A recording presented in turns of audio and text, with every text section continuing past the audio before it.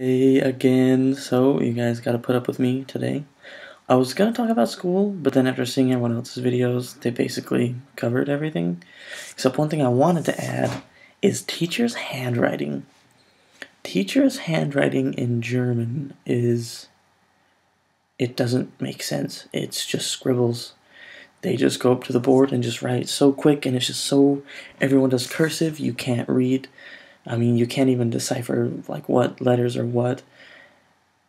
Sometimes, like my notes don't even make sense. If you go through and read my notes, there's probably half the page is just made up words, where I say uh, where I think it looks like a word, or I think a letter looks like something. So I just kind of do like the teachers does and just do random little scribbles. So definitely, I don't know. Maybe that's just in my school, but definitely crazy handwriting. Um, so I figured today I'd talk a little bit about spaciousness, maybe, or you know, let's talk about organization. Germans are organized.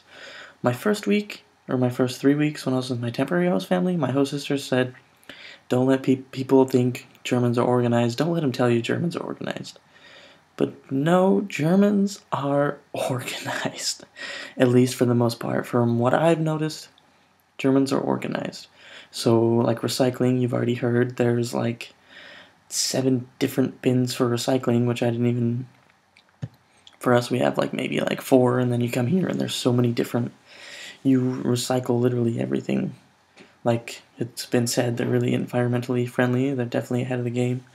It got us beat. Um, also, cleaning, they're always, or at least from what I've noticed, a lot like my host mom here, my temporary host mom, always did laundry. Laundry is done very often.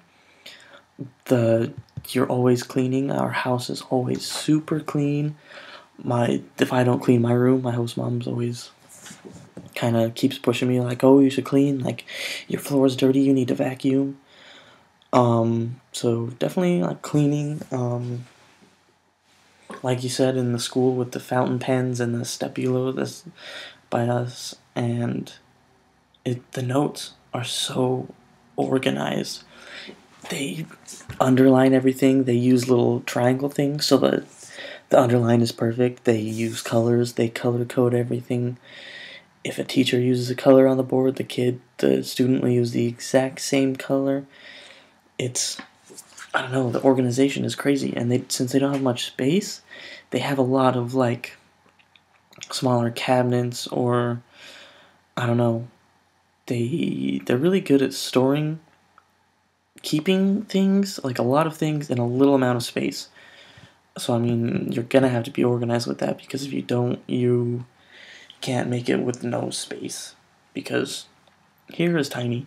I think Germany is the size of like Montana with around 81 million people, which I don't even know if that's possible. 81 million people. I think Montana has like what 2 million. And this probably accounts for the streets that are like barely two car lanes wide and most of the time cars are parked on the side of the road and people have to stop and let one car through so they can go through because there's not enough room for both of them. I don't even know how buses go through. Like when I go to school in the mornings and I ride the bus, I don't know how. I, it, it blows my mind. They definitely know how to use their space. Very spacious. Like the houses and everything, they're so. A lot of them are extremely close together, like buildings where you can fit your arm, maybe only your arm in between them. And a lot of places, there's houses like above like restaurants or like stores.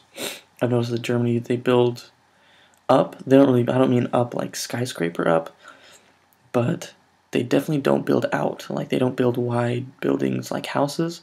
There's a lot of houses that look so tiny, and then you go inside and there's so much room, so much space, and they. I don't know. They just have little like little appliances, little cabinets, little I don't know, they just they know how to use their space because they're so organized. That kind of ties together somehow. Um, I guess that's long enough. I mean, it's not really too informative, I guess. Here's my rambling for this Wednesday. Last Wednesday, I failed making a video. I made one, tried uploading it, but it was just being a pain.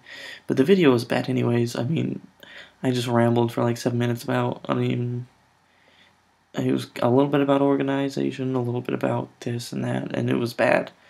And then it wouldn't upload, and I said, okay, I'll just make a new one. And then I didn't get time, and that was after I deleted it, so I figured I'd just wait this week and make a new one. So, I hope you guys enjoyed. Um, if there's anything you want to know, anything you want to ask, I don't really know what to talk about. Like, this video is kind of, I guess, kind of lame, but yeah, definitely leave comments. I mean, if you want good videos, you gotta leave comments. I need a little bit of feedback. Anyway, keep it under six minutes. Ciao.